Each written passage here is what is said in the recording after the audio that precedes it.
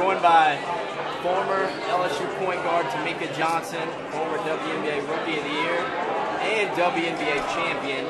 Special day here in LSU athletics and LSU basketball. The grand opening of the LSU basketball practice facility. What does this moment mean to you being a former player? It's surreal. Um, there's so many people that paved the way for this to happen. Uh, not not just me. There's so many people before me that fought for basketball, and to have a facility like this where the young women can come in and play anytime they want. It's open 24 hours for the former players to come back and participate in anytime we want. It's unbelievable. I'm excited that I get to see it. From you as a player perspective, what advantages does this give a team? Um, when I was here, we had to share the facilities with volleyball, we had to share with uh, men's basketball, and if there was an event happening in the PMAC, we had to share. This this allows you to come in on your own time, uh, practice when you need to practice, change times when you need to change time, and it gives the, the team enough. Uh, it gives them something different. Like they can come in whenever they want. They don't have to just go in and, and practice with everybody. There's enough courts on the side where you can have your own goal. You can participate whenever you want. I, I think it's great. Just wrapped up another season with the Phoenix Mercury back home here in Baton Rouge. You're also an author now. You just wrote a children's book.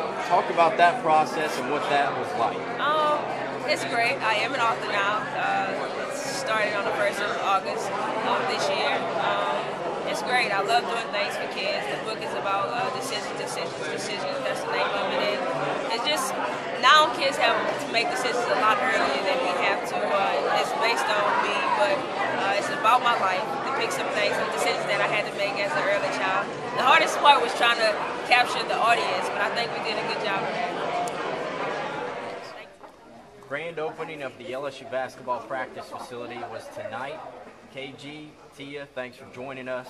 What is this moment meant for y'all?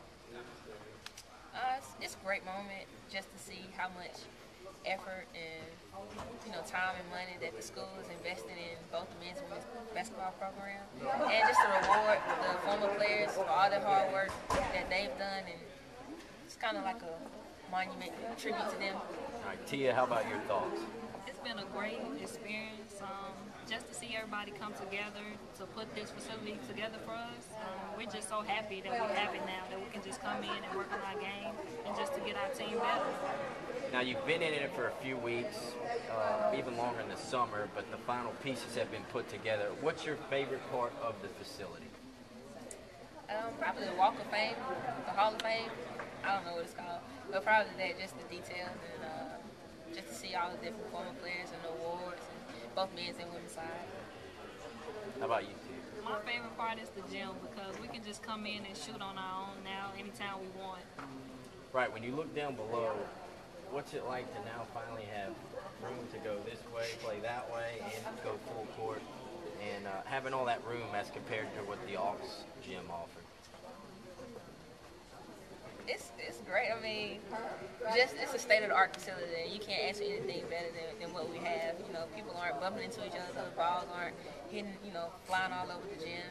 It's, it's great because the space adds so much more, like, ability to do what you want to do. It's good.